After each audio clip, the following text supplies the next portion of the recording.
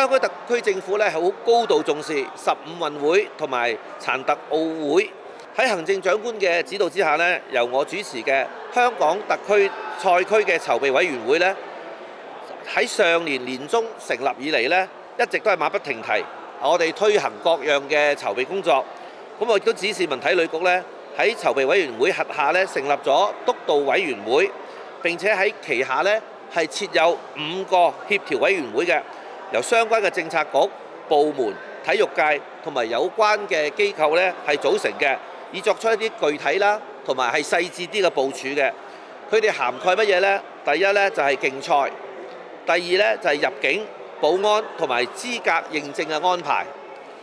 第三呢就係傳媒宣傳同埋社區關係。第四呢就係醫療服務，以及第五呢就係交通同埋運輸安排。咁我哋一大嘅目標呢，就係希望令到所有運動員同埋觀眾呢，都喺香港得到最佳嘅參賽同埋觀賽嘅一個體驗。其中咧，香港承辦嘅十五運會嘅八項競賽項目咧，我哋計劃喺今年年底開始，陸續喺各個比賽嘅場地咧，我哋會舉辦一啲叫測試賽。例如咧，我哋喺啟德啊體育園咧係會進行呢個七欖啦、男子手球啦、劍擊啦測試賽。嗱，呢啲測試賽咧要測試個場地，讓我哋好好咁樣測試嗰啲啊流程啊咁樣。誒人流點樣管理咧？誒交通安排係點咧？應變處理係點樣咧？從而咧係盡快咧係作出所需要嘅改善或者係優化嘅。